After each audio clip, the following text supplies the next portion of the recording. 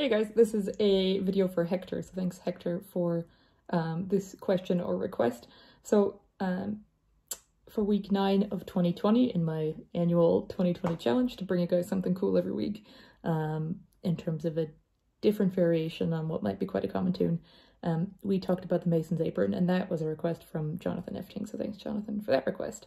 Um, and one thing that Hector asked was potentially for a bit of a tutorial on um, two elements of taking the Mason's apron and adapting that from the fiddle, because it's typically a fiddle um, virtuoso or like a show-off tune for the fiddle, um, and bringing it to the flute and what kind of adaptations you would make um, to make that kind of work for the flute. So specifically, Hector, I believe you asked for um, thinking about how to do the ornamentation properly and what thought process goes into the ornamentation for that, and then also specifically um, how to deal with in this version that I did, the six-part Matt Molloy version, had to deal with the two parts, which are uh, part two and part three, which have a lot of uh, interval jumping in them.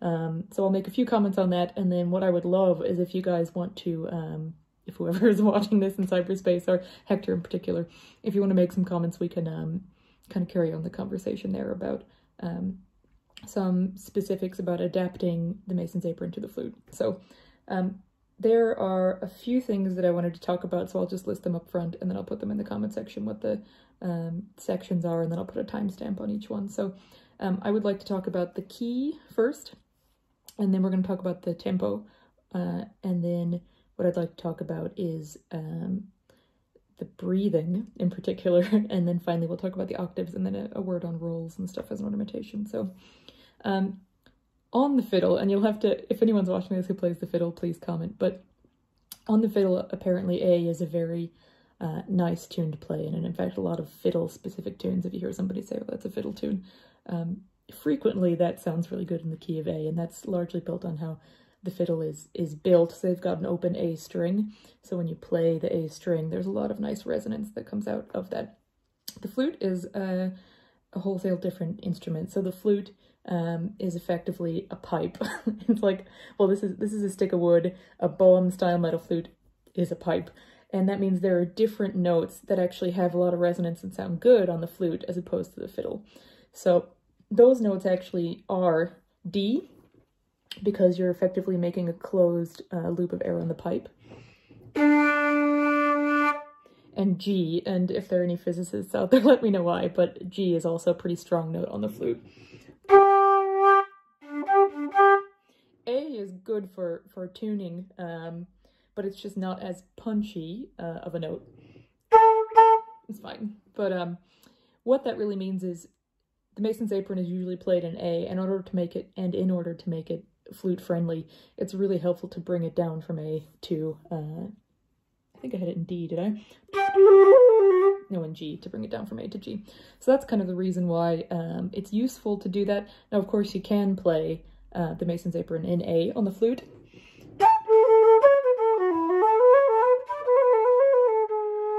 But the thing you'll run into is if you don't have any keys, you're going to need to be comfortable with what's called a half hole or um, cross fingering, which is effectively creating a an A flat or a G sharp by covering half of hole number three.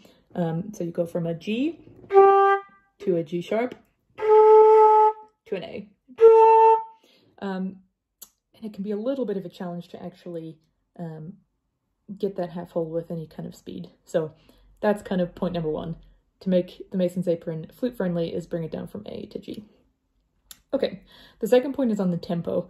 Um, and I know you didn't ask Hector for this to be covered, but it's important to, um, I, I think, in my opinion, it's important to put tempo as the number one style consideration on this tune because um, each of the parts highlights a different kind of skill on the instrument, um, which is intentionally quite challenging and is hard for a, a, beginner and even or even an intermediate player to play. Um, so what you want to do is um, err on the side of caution in terms of speed, because you can always speed it up later, um, because this is a dance tune. Uh, consistency of tempo is most important.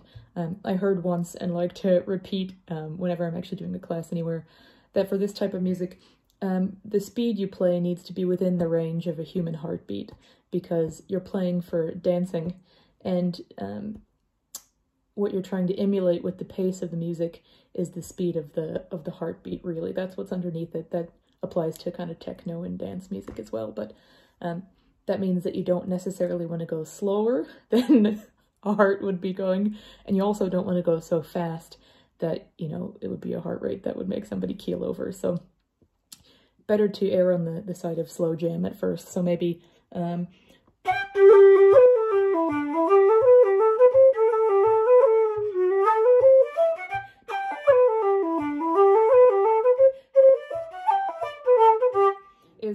totally acceptable to make sure that all of the cool bits in each part can be covered at that tempo. Um, totally a matter of style to say how fast you want to go. I think part of the um, lure and or benefit of this tune is you can go really, really fast if you really want to show off the different parts. Um, but do so at your own caution. This is probably too fast to it's kind of hard to play, but it's also hard to listen to. So try and go somewhere in the middle. Okay, um, now let's think about the uh, third piece, and that's specifically where to breathe. So part of the reason I enjoy doing this tune the most is because I actually, um, you know how when you learn something, there's actually a lesson to be learned in unlearning it. So I actually went back and listened to Matt Molloy's Shadow on Stone album, to try and figure out exactly where he's breathing. And then I put up on my um, music page, which is on Facebook, it's Sarah Hale Music. You can click on that and I've got a little, um, like a picture of where I've mapped out where he puts ornaments, Matt Molloy, and where he breathes. And what I found was quite interesting is that where he's breathing is actually different um, than where I would choose to breathe. So I would suggest that's actually a really good homework exercise for yourself, uh, for anyone watching, especially if you're a flute player, is to just go through and listen and see where is this flute player breathing because obviously um, air is the fuel of playing this thing. We can't play it without taking a breath. And whereas in classical music, the standard advice is usually to breathe in between phrases um, without cutting out any notes.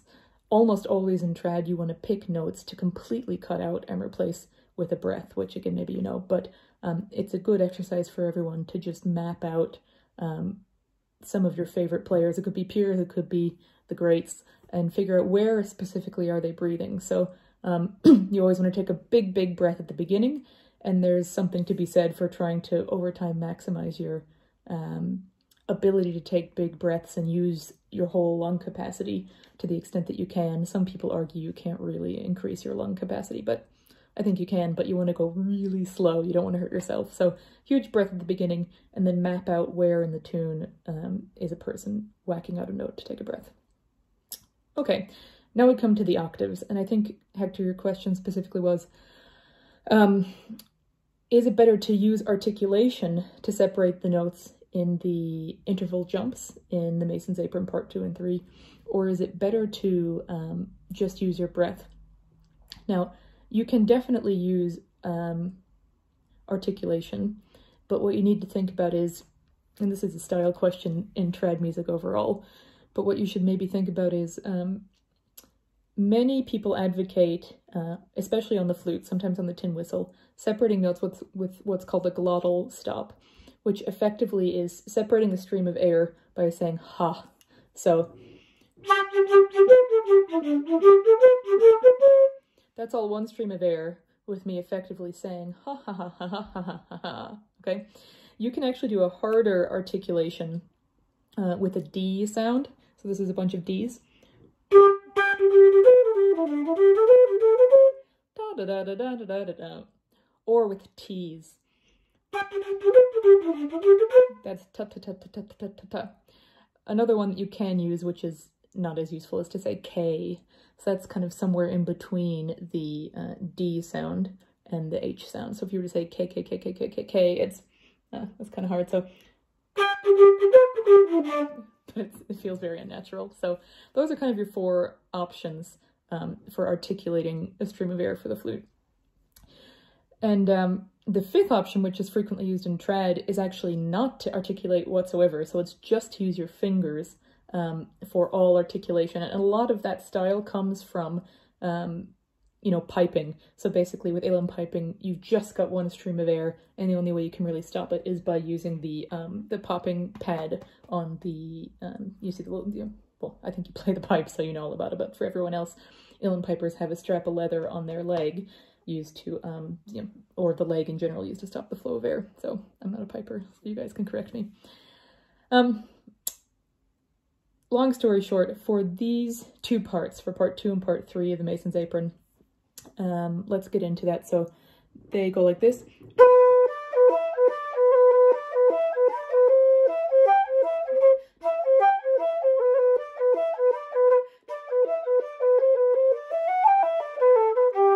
And then Matt Molloy puts in a custom third part, which has a similar principle. So it goes, oops, here it is.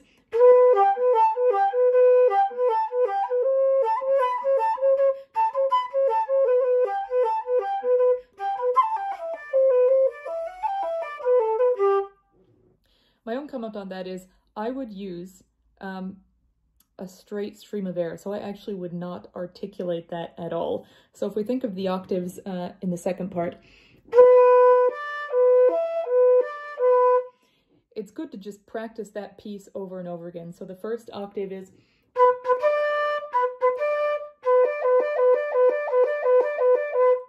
and then the next one is, I believe, a perfect fifth. So it's I would just practice those jumps until your brain is so bored of it you can't stand it because that'll kind of lock it into your memory to the point where you don't have to focus on it anymore. So maybe if you live with somebody, make sure they're out of the house so you don't annoy them and then just play over and over and over again.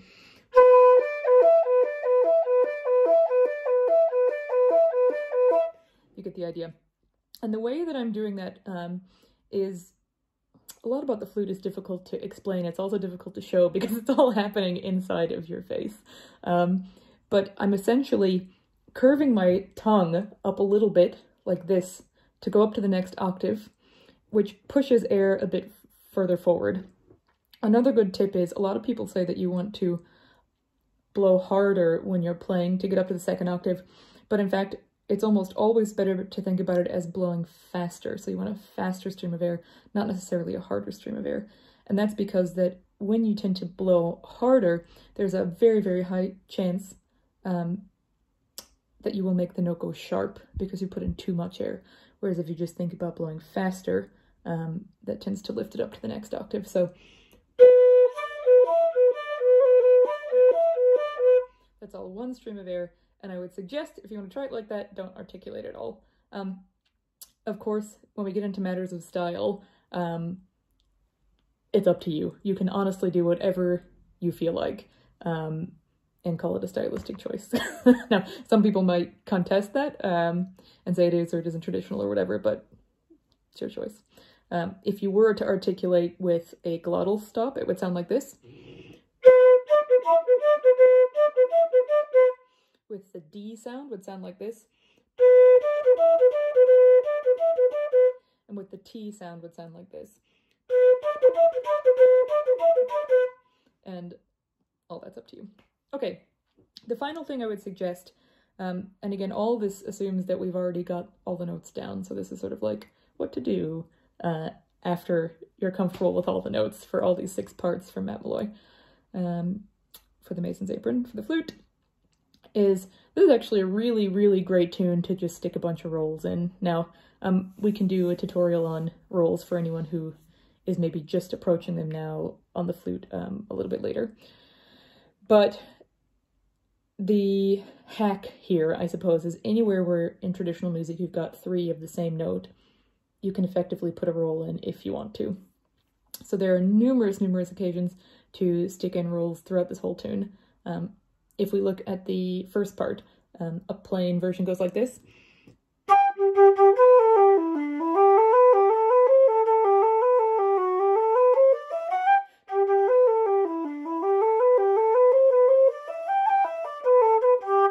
So there's at least a couple places to put in a G roll there in the first part.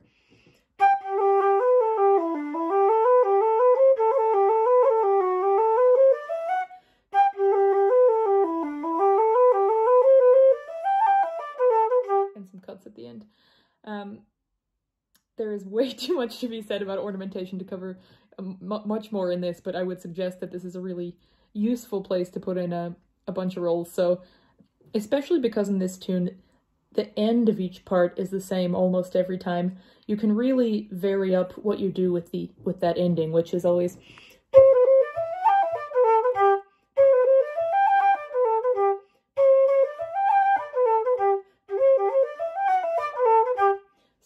to have a tangible place to start, I would suggest take those last two measures, which show up at the end of almost all of those six parts, and then just think of, this kind of a fun exercise as well, think of as many possible variations as you can that would be cool or weird.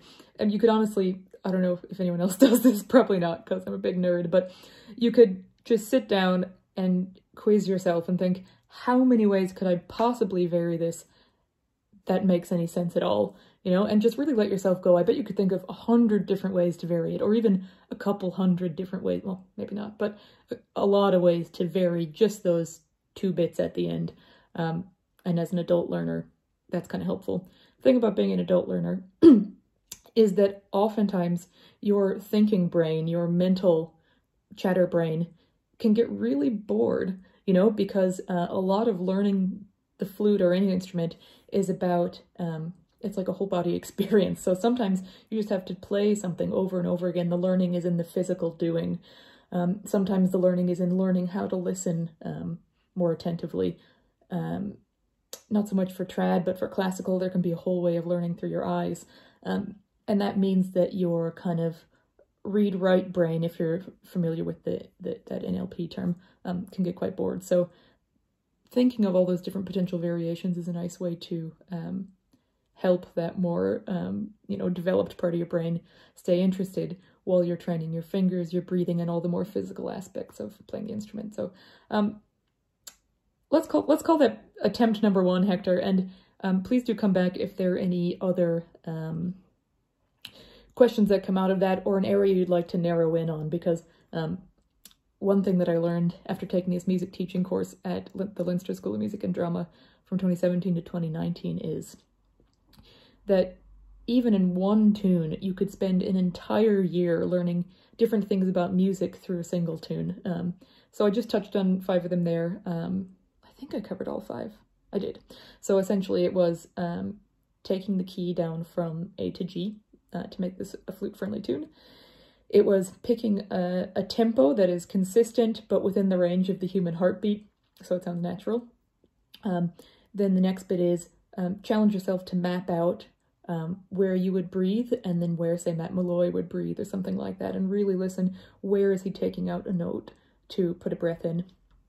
Four um, would be practicing these uh, kind of interval jumps of a third and a fifth until you're completely bored, but your fingers get it. And then fifth would be, this is a great place to chuck in a lot of rolls and then potentially vary um, those last two measures of each part and think of, try and challenge yourself to think of a hundred different ways to vary the end of that part. Um, and that that's how I would approach it anyway. So very, very much looking forward to hearing um, how you would approach this, anyone watching, um, or Hector in particular, and anything you'd like to hear next. Okay, cool. Have a good week. Bye.